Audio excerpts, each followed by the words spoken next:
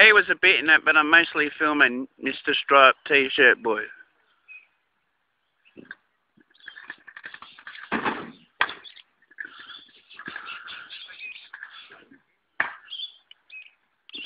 Oh, that's not too bad.